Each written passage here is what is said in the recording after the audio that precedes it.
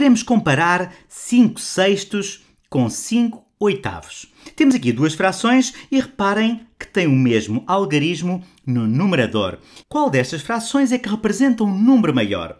Então vamos começar por tentar perceber o que é que estas frações representam. Aqui temos 5 sextos. Quer dizer que nós pegamos numa certa unidade, dividimos em 6 partes iguais e depois consideramos 5 delas.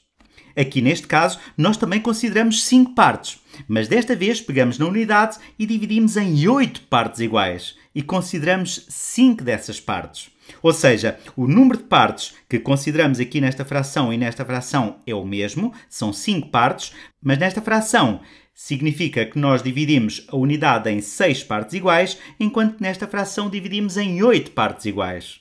Mas vamos representar isto geometricamente. Temos aqui dois quadrados. Imaginem que são dois bolos, são dois bolos iguais. E vamos representar 5 sextos aqui e representar 5 oitavos aqui.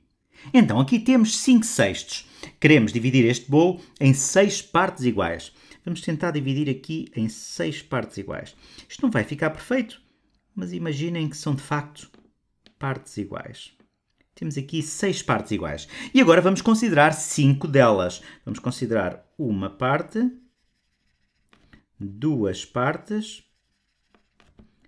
três partes, quatro partes e 5 partes. Imaginem que isto é um bolo, partimos o bolo em 6 partes iguais e agora tiramos 5 dessas partes. Esta zona aqui assombreado representa 5 sextos do bolo. Vamos agora ver o que é que acontece com 5 oitavos. Então, agora aqui neste caso, temos de partir este bolo, que tem exatamente o mesmo tamanho do bolo anterior, em 8 partes. E comecem por pensar no seguinte. Se nós partirmos este bolo aqui em 8 partes, vamos ficar com partes mais pequenas ou maiores? Sim, é isso mesmo. Vamos ficar com partes mais pequenas, porque dividimos em mais partes. Se dividimos em mais partes, as partes vão ficar mais pequenas. E nós podemos observar isso aqui, porque reparem, se nós quisermos dividir aqui este bolo em 8 partes iguais, vamos começar por dividir aqui em 4. Isto não vai ficar perfeito, mas imaginem que estas partes são todas iguais.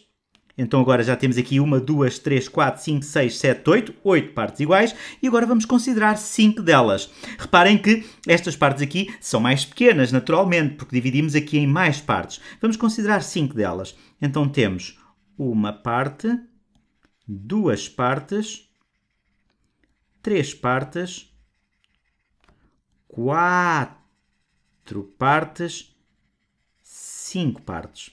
Nós assim à primeira vista podíamos pensar, ah, ok, é a mesma quantidade, porque temos o mesmo número de partes. Aqui temos 5 partes e aqui temos 5 partes. Mas cuidado, aqui temos 5 sextos, enquanto que aqui temos 5 oitavos. Estas partes são mais pequenas e, portanto, aqui, embora tenhamos o mesmo número de partes, vamos ter menos quantidade. E isso é claro aqui nesta figura. Reparem que esta zona aqui assombreado representa 5 oitavos. E esta zona aqui assombreado está a sombrear uma zona que é mais pequena do que a zona sombreada aqui a azul. Portanto, 5 oitavos é menor do que 5 sextos. Ou seja, que é a mesma coisa que dizer que 5 sextos é maior do que 5 oitavos.